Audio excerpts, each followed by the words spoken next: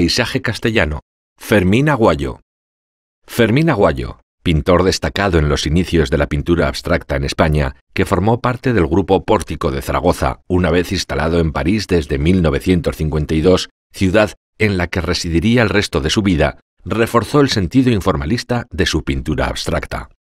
En Paisaje castellano, de 1955, Aguayo recrea las experiencias visuales y afectivas de su infancia en el pueblo burgalés donde nació, Sotillo de la Ribera, con amplias pinceladas horizontales cortas y enérgicas y espatulados de un sobrio y frío colorido, en el que predominan los grises, verdes, sienas y pardos oscuros sobre un fondo ocre.